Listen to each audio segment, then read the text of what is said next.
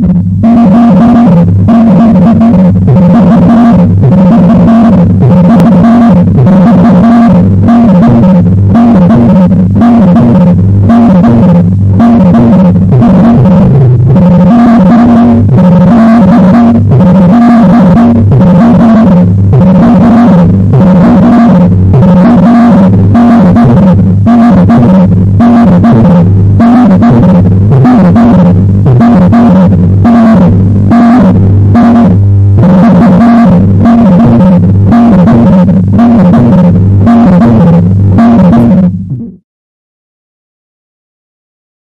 Making news tonight. President Muhammadu Buhari presides over a national security meeting with a view to tackling security challenges in the country. IGP announces immediate suspension of tinted vehicle windscreen.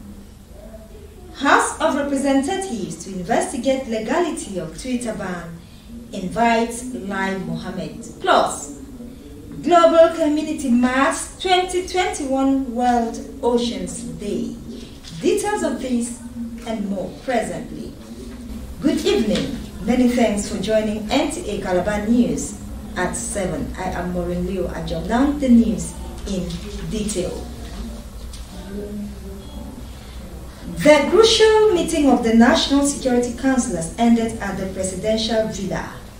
President Muhammadu Buhari summoned the meeting to chart the best way forward in respect of the prevailing challenges of security bedeviling the country.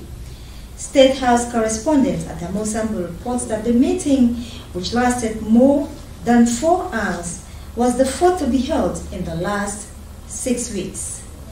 Vice President Yemi Osinbajo, Ministers of Defense, Interior, Justice, Police and Foreign Affairs as well as the National Security Advisor attended. Others were the service chiefs, led by the Chief of Defense Staff, Chief of Defense Intelligence, Directors General of the Department of State Services and the National Intelligence Agency, as well as other critical stakeholders. Efforts by NTA News to hear from participants on the resolutions adopted at the strategic engagement were unsuccessful. President Buhari had last week read a riot act to assassinate bandits, insurgents and other criminal elements undermining national security and stability that they will be treated in the language they understand. Meanwhile, President Muhammadu Buhari has written to the House of Representatives seeking an increase of retirement age for teachers. The president is asking for the age to be increased from 60 years to 65 years and the years of service reviewed from 35 years to 40. The House of Reps is considering the president's request seeking confirmation of Major General Farouk Yahaya as Chief of Army Staff. President Buhari on May 27th appointed Major General Farouk Yahaya as the new Chief of Army Staff. He is replacing the immediate past Army Chief Lieutenant General Ibrahim Attahiru, who died in Kaduna air crash along with 10 other military officers. And moving on, members of the House of Representatives have resolved to invite the Minister of Culture and Information, Lai Mohammed, in a bid to investigate the legality of the Twitter ban by the federal government. The decision was reached today during plenary. The Speaker of the House, Femi Gbajabiamila, in his speech directs the House Committee on Justice, Commerce and Information to investigate the process that led to the suspension of the microblogging site. The Speaker said the House recognizes that Twitter is a very important means of communication. According to him, the social networking service has been used for both good and bad, and the legislature must make sure that the policies of government are in accordance with the law and do not have adverse consequences on the people. He directed relevant committees of the House to constitute a single committee and commence investigation into the circumstances surrounding the ban and its legality. The headmaster of Tanko Salihu Islamia School Tegina has described as fake news a report on the social media platform suggesting that one of the kidnapped school children is dead. Abdullahi Muhammad reports that this fake story has added to the anxiety of the parents of the Jina abductees. It was on the social media platform that someone shared the story, and before daybreak, the headmaster has received dozens of visits and calls from some parents of the abductees seeking for explanations. And this breaks him down. I'm talking to you now. I'm not happy at all. Wallahi, I'm not happy. I don't know. I don't know what to explain. Wallahi, I didn't eat anything since morning. I'm not happy. They add pain back to the pain we are in already. We are in. I don't. I, I have forgotten when I when I slept proper. The pains of Malan Garban or the parents of the abductees, observers say is a reflection of pains inflicted upon millions of people across the world by those bent on propagating fake news. In Tegina, Rafi, local government area of Niger State, Abdullah Muhammad, NT News. The Inspector General of Police Usman Alkali Baba has announced the immediate suspension of tinted vehicle windscreens in Nigeria. The IGP announced this on Monday during a meeting with senior police officers including commissioners and DIGs from across the country. He also directed that the issuance of spy number plates be put on hold. This, according to the IGP, is part of efforts being put in place to curtail the worsening security challenges across the country. While making the announcement, he reiterated that roadblocks remain prohibited in the country and warned that head of commands must enforce it and key into the road patrol strategy as an alternative to roadblocks. The state governor Ben Ayade has approved the relief of appointment of the Commissioner for Special Duties Francis Eta with immediate effect. A statement signed by the Special Advisor Media and Publicity to Governor Christian Ita expresses the governor's appreciation to the commissioner and wishes him well in his future endeavors. And following the defection of Governor Ben Ayade from the People's Democratic Party to the governing All Progressives Congress, has trailed many of his followers across the state to follow suit. The latest to defect are executive members of the Calabar South Local Government Council led by the chairperson Esther Bassi, as well as members of the House of Assembly. Arut Ndem witnessed the ceremony and reports. Since the defection of Governor Ben Ayade to the APC, the party in the state has been witnessing an increase in its fold. Alabasa Local Government Council area played host to the thousands of party supporters who defied the hot weather to attend the defection ceremony with party officials in attendance. Stakeholders reaffirmed their loyalty to the All Progressives Congress and urged the party supporters to be resolute while delivering on Governor Ben Ayade's industrialization drive and his food on the table policy. I would have said I will stay back, I will not come. And I don't think I will do good to my people it will be a service to you if I had stayed back in Peru. The movement of people in Cross River State to APC was already ordained by God. So God cannot make a mistake. Well, it's, it's better now because the, we have been socketed into the national level. So definitely the dividends of democracy is going down here to my people. The chairperson of Calabar South local government area, Esther Bassi, pledges a commitment to take Calabar South youths to the center of Governor Ben Ayade's administration, where they will a part of development drive of the government. Right now, you can see that the youths are outside in the streets and we're trying to take them back home. So please, I appeal to His Excellency that Calabar South local government is asking you that please kindly employ give them more youth appointments in the federal, in the local government, and also in the states. The newly defected were taken to their various wards for proper registration as duly certified members of the APC in the state.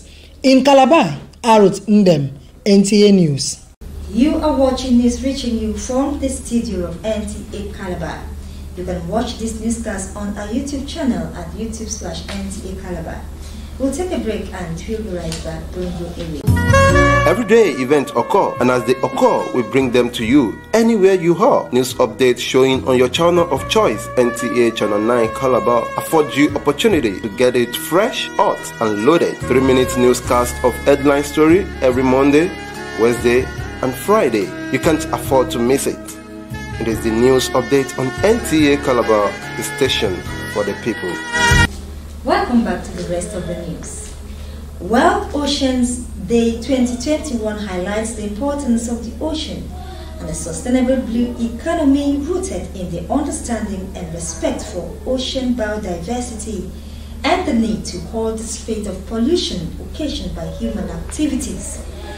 In commemorating Oceans Day, the United Nations in reminding the global community of the need to build a connection to the ocean that is inclusive, innovative, and informed by lessons from the past. Onenge Fineface tells us more.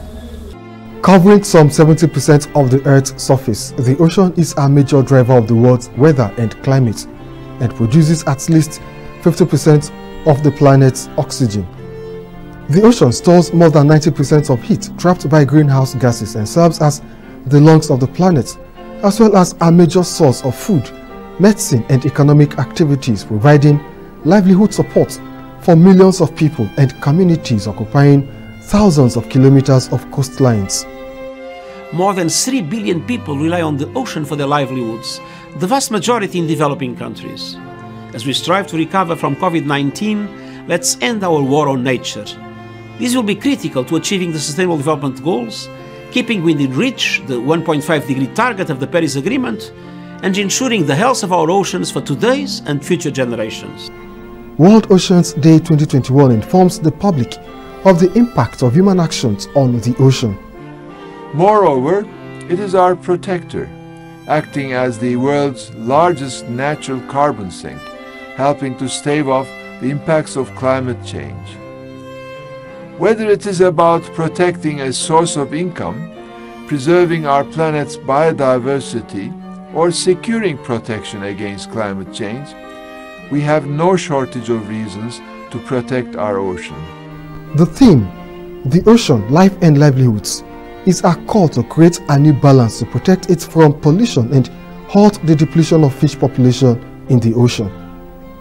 Onengie Fineface, NT News. World Bank and the Federal Ministry of Agriculture approved and validated knowledge management working document for agricultural support project in Nigeria. Musa Babali reports that the draft document was presented to relevant key players for validation in Calabar, Cross River State. Knowledge management is one of the components of the World Bank federal government funded agricultural project designed to enhance productivity and processing of agricultural produce. The initiative is expected to enhance effectiveness in the implementation of the four years APPEALS project in six participating states. Aisha Onusi, the knowledge management lead person of the project, said the draft document has been presented to the stakeholders for validation. The knowledge management strategy aims to facilitate knowledge sharing among all stakeholders at national, state, and community levels to improve learning, sustainability, and replication of project innovation, solutions, and best practices.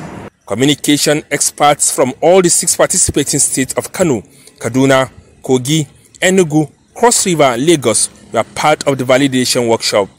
Draft KM implementation strategy document has been prepared to guide all the PIUs to successfully implement eligible KM activities in fulfillment of the objectives captured in the PAD.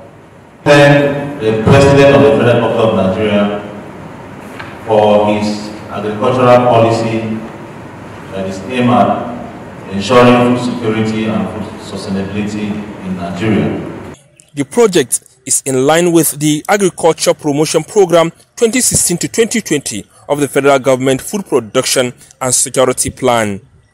From Calabar, Musa Baba Aliyu, NTA News.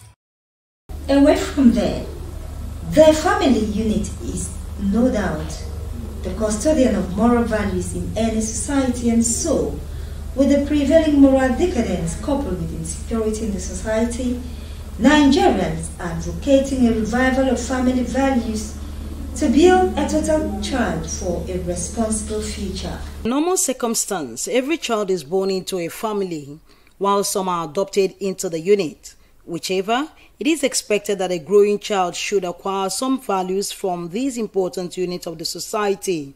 However, religious, educational, social organizations, and the larger society also register some level of influence on any child who then should be blamed for the alarming level of immorality, crimes, and criminality threatening the well-being of the society, especially among the younger generation. Children are so over-pampered these days that by the time a child is in school and maybe a teacher uh, do one or two things to make correction to correct the child for a better tomorrow, the parents take offense. As a teacher, I've seen a lot of things that I ask myself questions if their parents are always there for them. Surprisingly, even children hold similar opinion that the family has relaxed on its responsibility of imparting moral virtues in children, thereby resulting in the numerous atrocities committed by young people in recent times. It's the parents that are making children more crazy these days